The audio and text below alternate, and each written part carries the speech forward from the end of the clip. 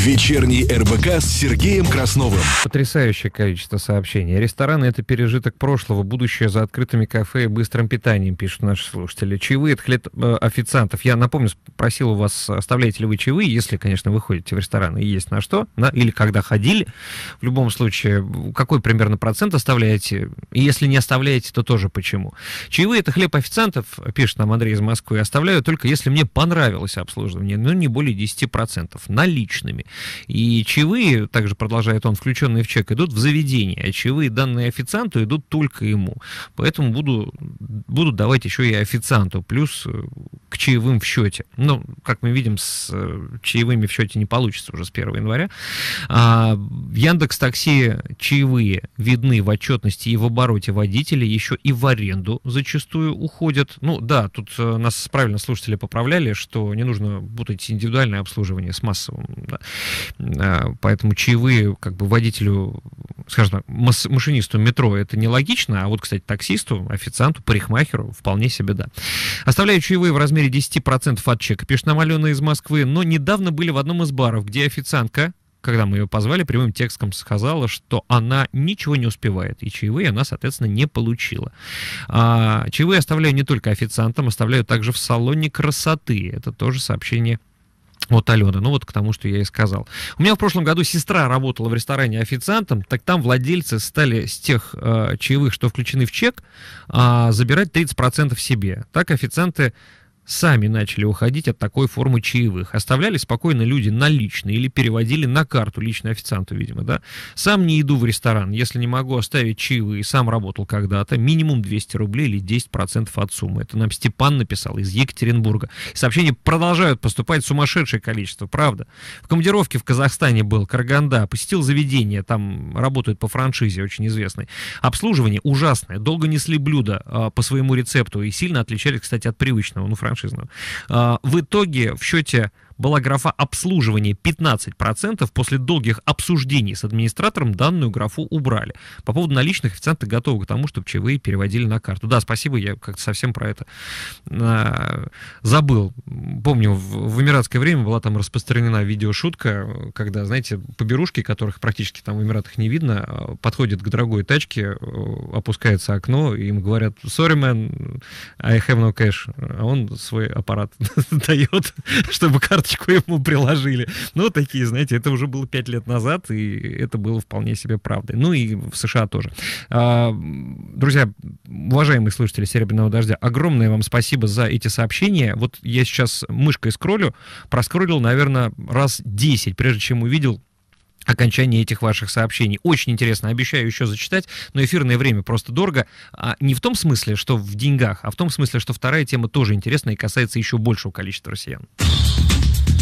Вечерний РБК с Сергеем Красновым. Итак, то, что происходит в этом году, не может э, не сказаться на работе и на наших с вами доходах. И сказывается. И вот сегодня появилась информация, как именно это сказывается. Банк Открытия выпустил исследование. Оно посвящено тому, как повел себя малый бизнес после того, как отменили весенние ограничения. А сразу скажу, что в вопросе участвовало более 200 индивидуальных предпринимателей, руководителей и владельцев компаний малого и среднего бизнеса, чья выручка до 3 миллиардов рублей в год. И вот опрошенные бизнесмены э, представляют, э, ну, все в основном отрасли, как наиболее пострадавшие от пандемии коронавируса и имеющие право получать государственную поддержку. Ну, так и все остальные. И результаты довольно неутешительны для владельцев бизнеса и для сотрудников в том числе. Потому что по итогам опроса выяснилось, что 35% компаний снизили сотрудникам зарплату в период пандемии. Четверть сократили штат. 7% удалось пройти этот сложный период без каких-либо мер экономии. Там почти половина предприятий говорят, что на восстановление у них уйдет не менее года. Что интересно, предприятия все, которые приняли участие в этом опросе, имеют право, как я уже сказал, государственную поддержку получить. Но смогли воспользоваться только четверть. Треть получили отказ, ну там 32%, считайте, что треть. Остальные за помощью от государства не обращались за помощью.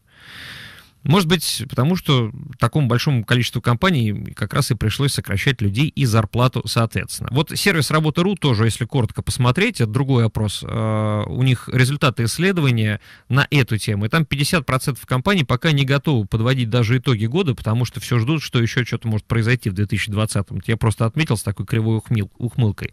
Но правда но не менее половины опрошенных работодателей все-таки, вернее, менее половины, все-таки планируют в следующем году свой штат сотрудников так или иначе расширять. То есть рабочие места появятся. Это хорошо. Про запросы россиян говорить вам не буду. Тут тоже вышло исследование, какие зарплаты хотят россияне себе на то, чтобы прожить и чувствовать себя, ну, не нищим хотя бы. Но что касается опроса, с которого я начал, то две трети а, предпринимателей ожидают новую вспышку заболевания коронавирусом и последующих ограничений. Это две трети из вот тех 200 бизнесменов малых. А более половины опрошенных полагают, что это произойдет до конца года. Подавляющее большинство компаний уверены, что смогут преодолеть и новую волну COVID-19, и сопутствующую ей изоляцию. То есть люди готовятся. А, но при этом интересно, знаете, что сбережения на случай очередного всплеска заболеваний есть только у 40% компаний, то есть меньше, чем у половины. Треть бизнесменов убеждены, что новой самоизоляции им просто не пережить. Еще один интересный аспект, который мы э, сейчас будем обсуждать с нашим экспертом, в том числе, вот опрос сервиса Работа.ру показывает, что за время пандемии доля сотрудников с серыми зарплатами выросла на 10%. Вроде бы немного. Но, может быть, каким-то образом снижение зарплат как раз вот э, в результате исследования Банка Открытия связано как раз с тем, что многие работодатели понизили белую официальную часть зарплат, а остальные деньги начали выдавать сотрудникам в конвертах, как в 90-е. Может быть, может быть. Давайте разговаривать. Э, но мы вот на какую тему с чем э, поговорим, и вот какой основной опрос обсудим. Сначала вопрос к нашим слушателям. Я хочу задать, какие у вас истории, да, э, что случилось за последние полгода с вами, а может быть даже чуть больше.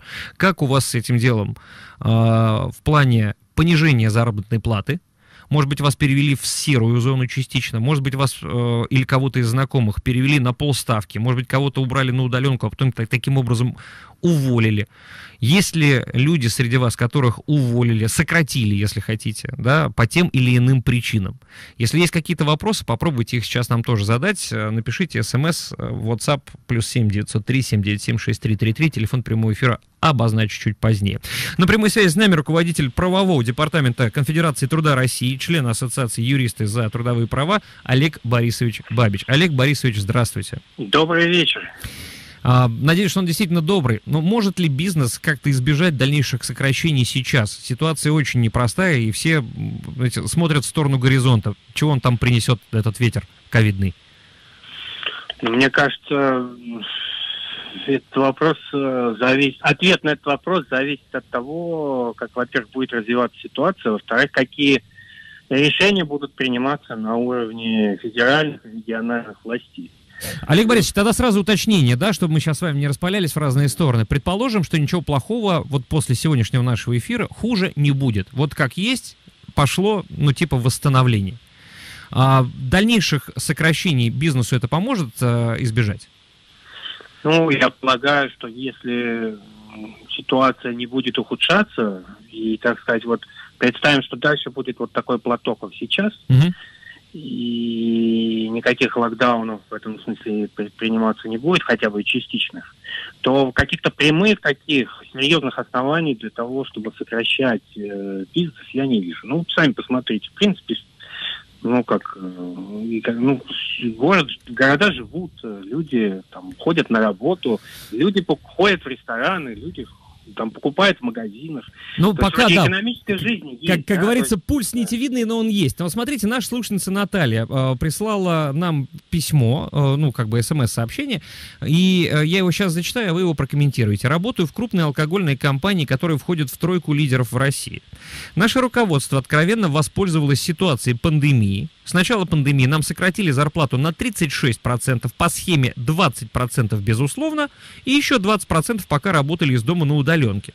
С 1 июля мы вернулись в офис, зарплата осталась минус 20%, то есть вернули 20% за удаленку. Не вернули на докризисный уровень до сих пор, плюс часть сотрудников уволили по соглашению сторон. Комментарий от руководства очень простой. Не нравится? До свидания. Это нам написала Наталья. Вот только что. Как вам такое? Как этого избежать? Как защититься людям? Тут сразу много есть аспектов.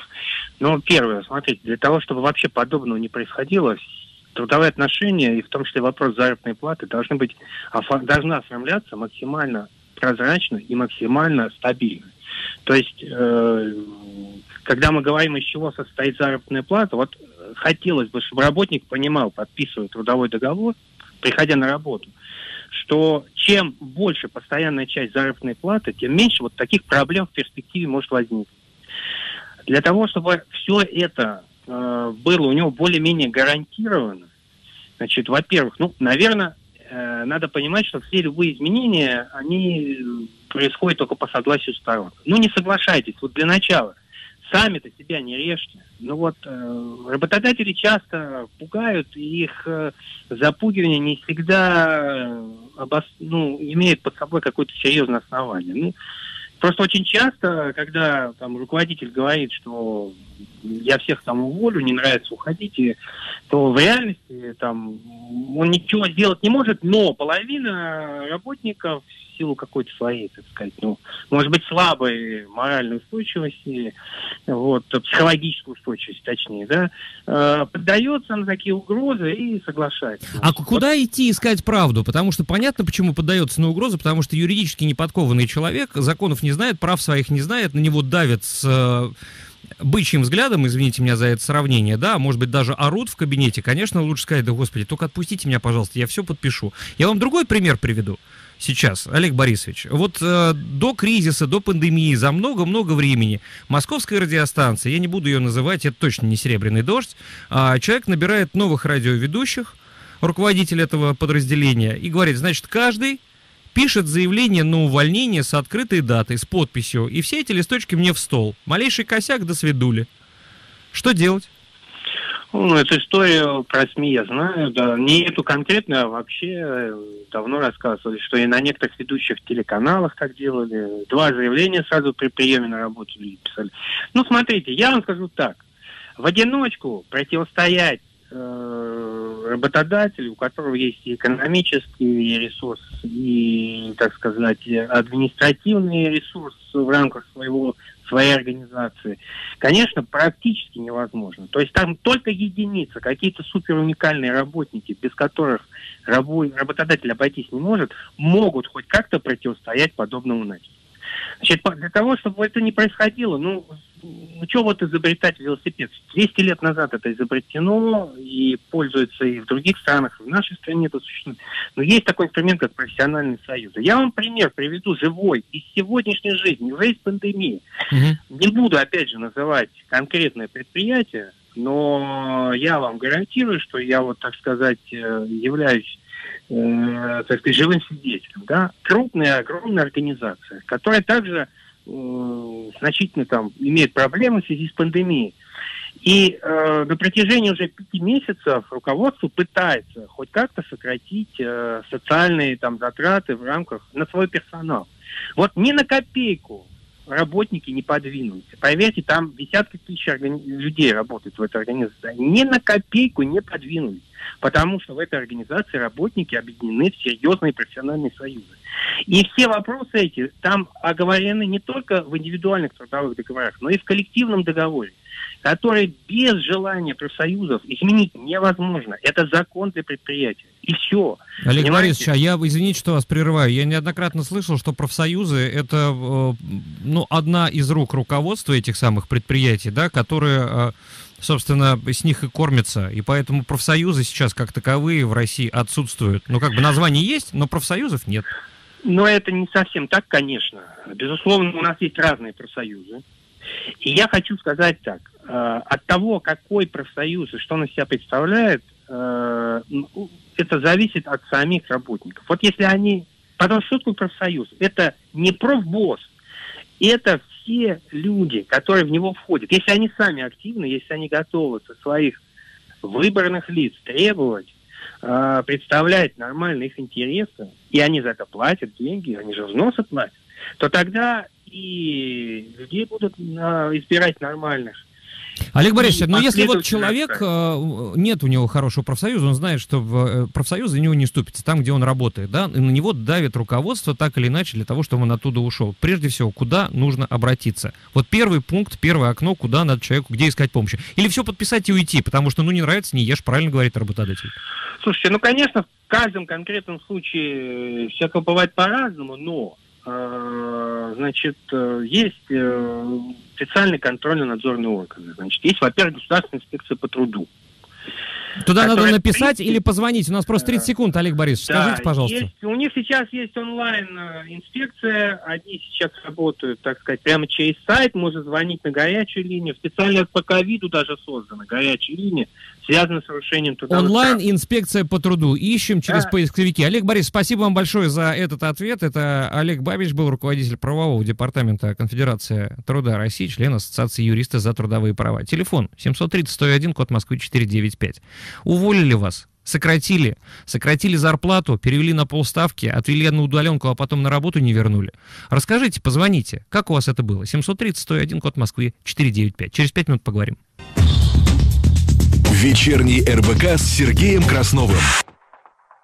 Время телерадио «Моста» наступило. С моими коллегами из проекта «Что это значит?» на телеканале РБК. И Илина Тихонова с нами на прямой связи. Илина, добрый вечер, наконец-то. Привет, Сереж. Слушатели «Серебряного дождя» вот что рассказывают? Они сталкивались уже с э, тем, что им снизили зарплату? Может быть, кого-то даже вовсе сократили на работе? Душераздирающие истории приходят нам в основном в тексте. Телефон прямого эфира 730-101, код Москвы 495. Если вам есть чем поделиться, как вас сократили, сократили вам зарплату или уволили, или перевели на удаленку, а потом была еще какая-то история, позвоните, расскажите. 730-101, код Москвы 495. Несколько сообщений от наших слушателей. Э, сначала в виде смс от работодателя.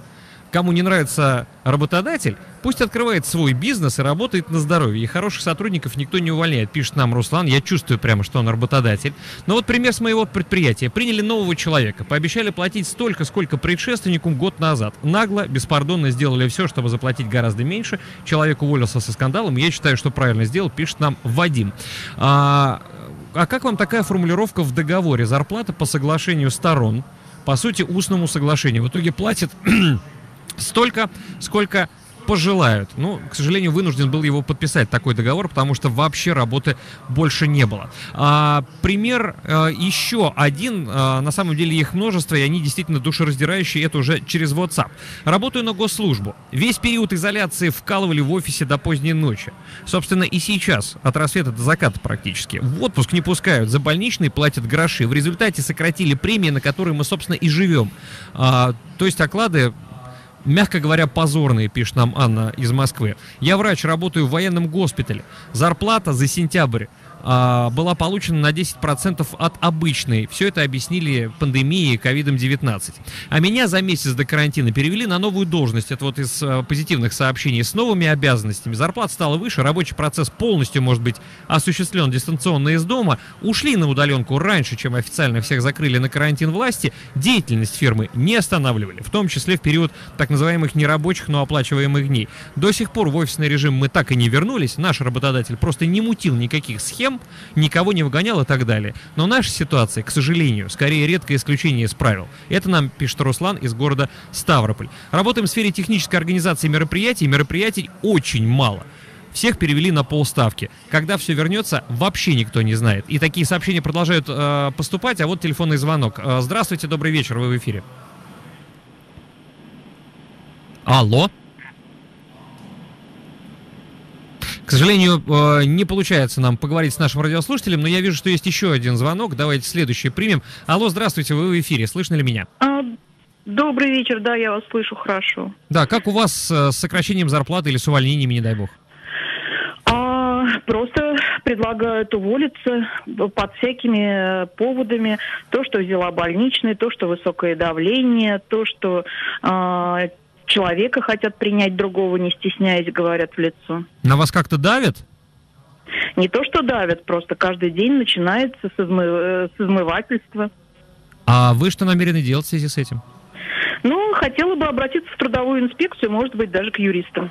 Вот спасибо и в том Потому числе... что беспардонно ведут себя Спасибо в том числе нашим экспертам, которые как раз, собственно, и порекомендовали нашим слушателям вот такую историю через онлайн трудовую инспекцию а, найти и задать им соответствующие вопросы. Спасибо вам за звонок. Еще одно сообщение. У нас в большой страховой компании премии с апреля заморозили и обещают заплатить в начале 2021 года при положительном финансовом результате деятельности. В общем, обещают, конечно, но мы-то знаем, что они точно не заплатят. Вот такие сообщения, вот такие звонки, вот такие мнения, такие истории, Елена, чем вы с нами можете поделиться?